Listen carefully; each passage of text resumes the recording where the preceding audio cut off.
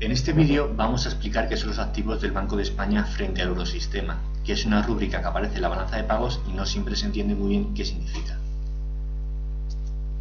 Para explicarlo vamos a ver antes la situación antes de la entrada de la Unión Monetaria.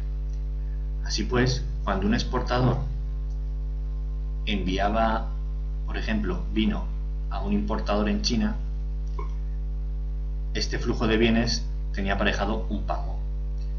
De esta forma, el importador le decía a su banco, en este caso el Banco Rojo, te ordeno que pagues a mi vendedor 500 yuanes por el vino. El exportador tiene una cuenta en un banco llamado Banco Verde, un banco español.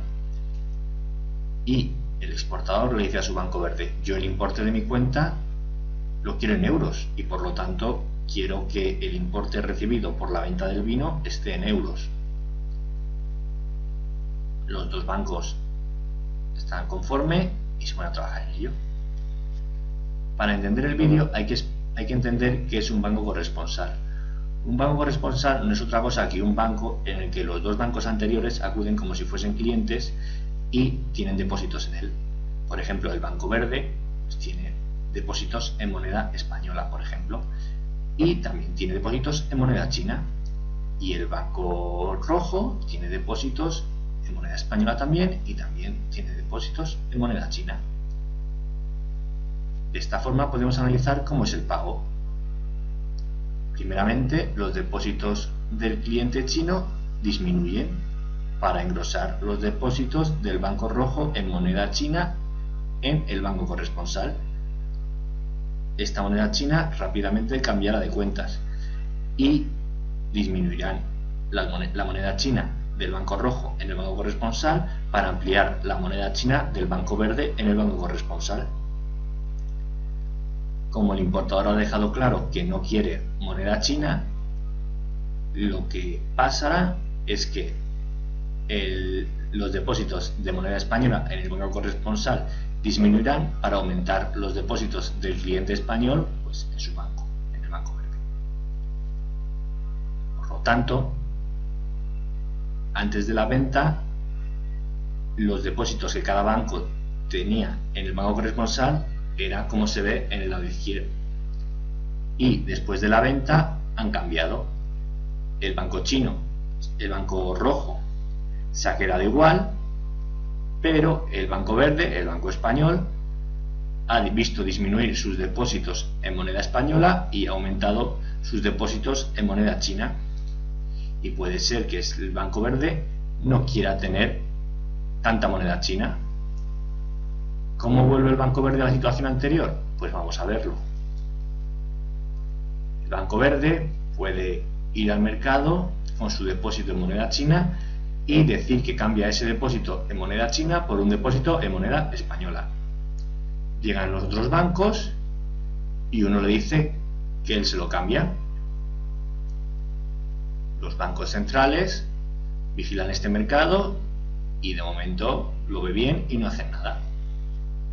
De este modo, el Banco Violeta recibirá la moneda china del Banco Verde a través del banco corresponsal, como anteriormente, y pagará moneda española al Banco Verde a través del banco corresponsal también.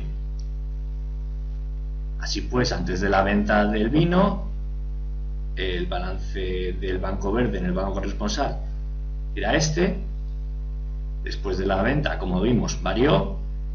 Y tras el cambio de depósito con el Banco Violeta, vuelve a ser como al inicio. ¿Qué puede pasar? Que el Banco Verde, al ir al mercado a cambiar su depósito en moneda china, no encuentre ningún banco privado que quiera comprárselo. En este caso, entra, entran los bancos centrales y en este caso el Banco de España decide comprárselo. Así pues, el Banco de España toma el depósito en moneda china del Banco Verde, el banco corresponsal, y se lo guarda él y además mete moneda española en la cuenta que el Banco Verde tiene en el Banco de España. Posteriormente el Banco Verde, si prefiere tener esa moneda española en el banco corresponsal, pues hará un trasvase y ya está. Un traspaso. De esta forma, en la balanza de pagos veremos un aumento de los ingresos por exportaciones y veremos que el Banco de España paga moneda española al Banco Verde para aumentar las reservas del Banco de España. Posteriormente, España entró en el, entró en el eurosistema y todo esto pues cambió un poco. Al entrar en el eurosistema, los bancos centrales de los países que iban a entrar enviaron todas las, divisas al Banco Central Europeo que está en Frankfurt.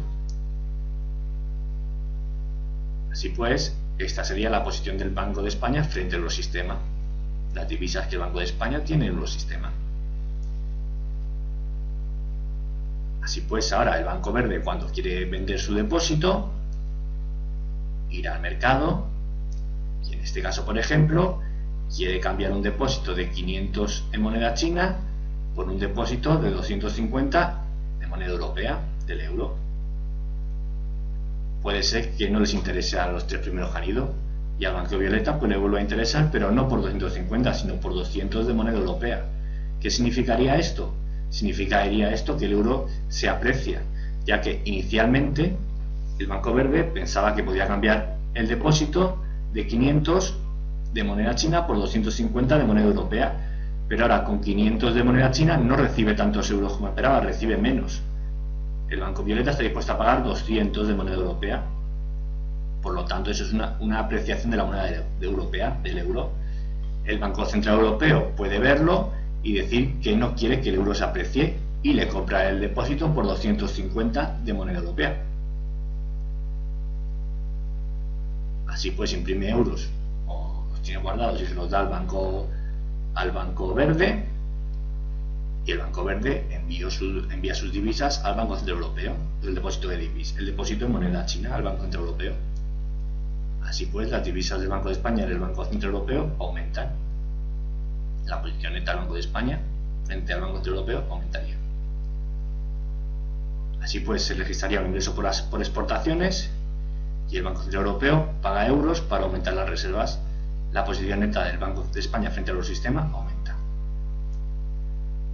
Esta sería la rúbrica que hay que mirar. Porque vemos que hay una rúbrica que se llama reservas, pero son reservas que se quedaron marginalmente los bancos para sus, operaciones propias, vamos, no las, las principales. Por lo tanto, la exportación en sí misma no asegura que vaya a haber un movimiento de la cuenta de posición neta del Banco de España frente al eurosistema, ya que Primero, el Banco Verde podría estar conforme con, el aumento de depósitos en moneda extranjera en su poder y no hacer nada. El Banco Verde podría encontrar un banco que le compre ese depósito. El Banco Central Europeo, este es importante, el Banco Central Europeo trata las reservas de divisas en su conjunto sin diferencia por países, por lo que si quiere vender depósitos en moneda extranjera, o sea, disminuir sus divisas, lo hará moviendo las reservas de todos los países sin diferenciar qué país es el responsable de que esa venta de depósitos en moneda extranjera deba realizarse.